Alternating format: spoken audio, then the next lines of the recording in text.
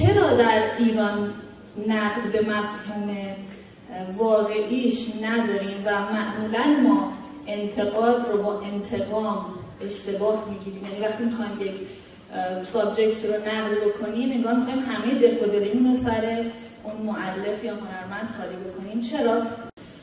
پیشرفت نکردن نقد در کشور ما فقدان ذهنیت دموکراتیکه.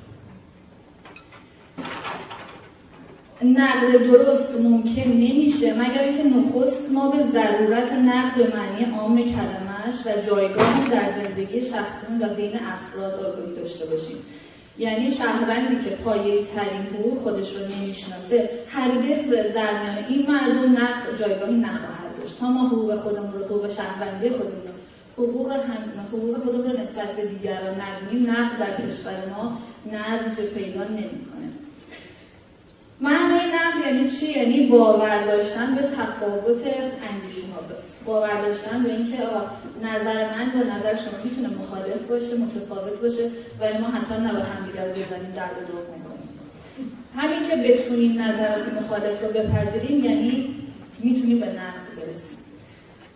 خب حالا ما به این دلیل به دلیلی که اصلا اسم ما آکادمی کیمیا آکادمی هست ما گفتیم که این جور جلسات رو شروع کنیم تا امروز هم خیلی موفق بوده. فقط یک نکته رو بسنده می‌کنم. ما چرا رو انتخاب کردیم؟ هدف کیمیا اکادمی بر انتخاب فیلم ها فیلم هایی هستش که به روز باشه مسائل اجتماعی امروز جامعه ایران رو نشون بده پیام های اجتماعی با خودش همراه داشته باشه و نقد پذیر باشه.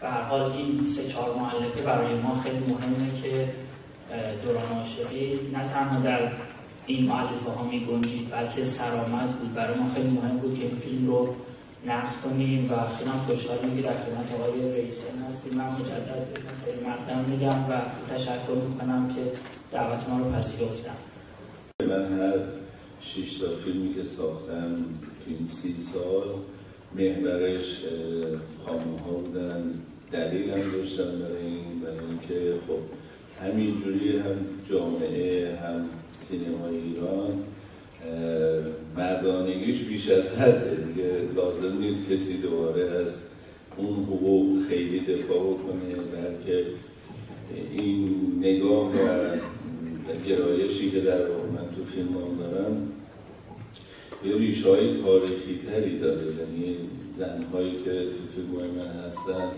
نه خیلی واپسگرا و مول و عقب مونده هستن و نه خیلی به معنای منفی کلمه بار فمینیستی داره. یعنی جای مردها عمل می‌کنن. نه خودشونه ولی اکتیو تو جامعه حضور دارن نقش دارن و تصمیماتی می‌گیرن که توی داستان فیلم خیلی مهمه.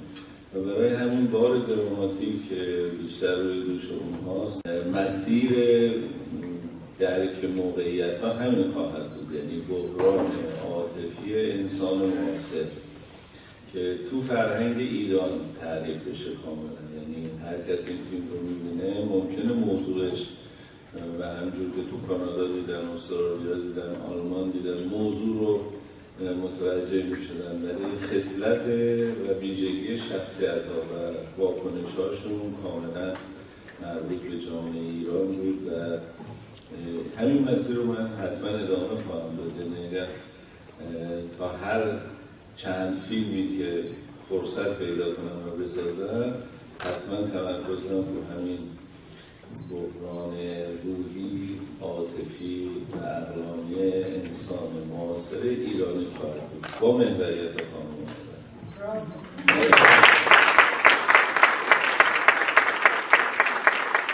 و یه آدم گردن کلفت آقای زندی که ایشون ترکیب سه تا شخصیت واقعی جامعه ایرانه.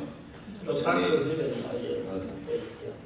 ببینید بخشی از فعالیت های اقتصادی و مرموز این آدم عینا همون فعالیت هایی که کسی که سه هزار میلیارد تومن اختلاس کرد انجام می‌داد. راجب این تحقیق مفصلی شد و توی بخش پژوهشی که مربوط به این بود ما همه رو با فکت واقعی جایی که این دلار رد و بدل می‌کنه از دوبی به ایران جایی که طلا از ایران به ترکیه و از اونجا به مقصد دیگری جایی که با یه پولشویی از اون ور دنیا که ظاهرا مال آمریکای مرکزی قرار می‌ذاره که توی سنگاپور هم دیگر رو ببینن و ماساژ برن اینا. اینا همش فکتای دقیق چیز داشت تحقیقاتی داشت. حالا شاید بیننده عادی یا معمولی خیلی متوجه این چیزا نشه ولی خب من دارم یه برشی از تاریخ ایران و معاصر رو هم توی فیلم در واقع یه درامی میگم دیگه. نوع رفتارهای فردیش و خصلتهاش و این لاتمنشیش و اینا از شخصیت دیگری که اونم پسر یکی از بزرگان مملکت هست و الان در حبسه گرفته شد و نوع در واقع معاملات ممنوعی که انجام میده از یک شخصیت دیگری که اون هم رئیس یکی از بزرگترین مؤسسات اقتصادی ایران و خب ما در واقع می‌خواستیم در قالب درامی که داریم میگیم که مسائل یک خانواده رو در بحران شرایط اقتصادی جامعه مطرح می‌کنه همیشه نیازمنده من خودم رو می‌دونم که نقلی به مسائل اجتماعی همون دوران بزنیم حتما. یعنی فیلم فقط حول یه محور ملودرام خانوادگی صرف قرار نگیره. این هر کس در هر دوره این فیلم رو دید بتونه یک زمینه و یک شناخت اولیه پیدا بکنه. ولی در فیلم هیچ جا تصمیم به جای شخصیت ها نمی‌گیرن به جای مخاطب هم نمی‌گیرن برای همین من فقط یه پیشنهاد طرح می‌کنم. یعنی میگم می‌تونست این قضیه خیلی فاجعه آمیزتر بشه برای اینکه این خانم وکیل فعال حقوق زنانه و معروف ترین آدم حرفه خودش و به راحتی می‌تونست شوهرش اصلا نابود کنه.